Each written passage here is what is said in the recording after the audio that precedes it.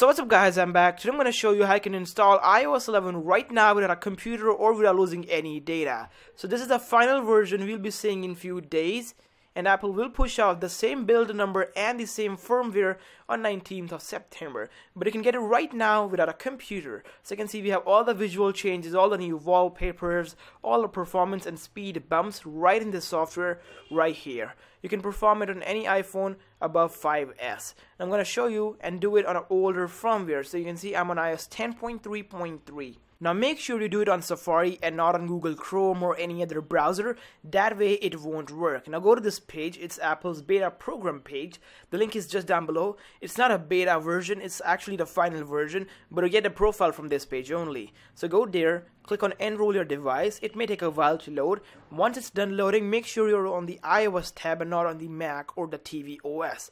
Once you're right there, scroll down and click on download profile.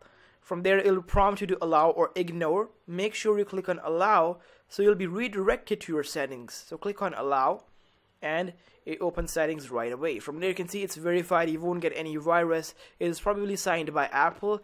And if you already have this, you don't have to go to this process. Just click on install, install and click on install for the last time and from there click on restart. Make sure you restart your phone if you have a passcode. Just fill the passcode and then restart it. Now it may take a while for your phone to restart but guys make sure you connect connected to a safe Wi-Fi connection and have 50% battery or more than that or you're connected to a power source.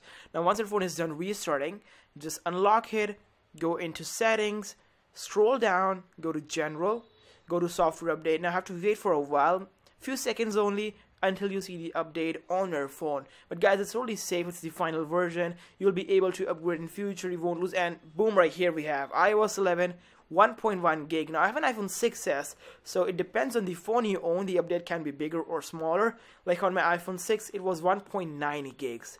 But I hope you guys enjoyed the video. More content coming soon. Until then peace